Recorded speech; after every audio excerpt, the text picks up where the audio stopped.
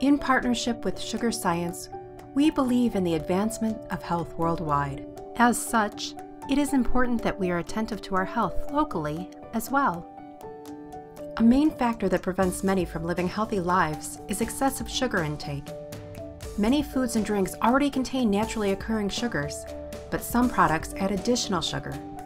It is important that men, women, and children stay within the suggested daily limit to live a healthy life. A 20 ounce bottle of soda contains around 16 teaspoons of sugar, which can easily exceed one's daily limit. Sugar scientists have discovered that sugar sweetened beverages are a main culprit of the problem.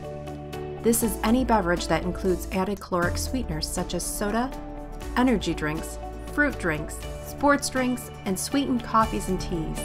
With over 60 names, added sugar can be hiding anywhere. That's why it's easy to consume more than our daily allowance. Too much sugar doesn't just make us fat, it can also make us sick by overloading critical organs, increasing the risk of diabetes, heart disease, and liver disease, even in people of normal weight.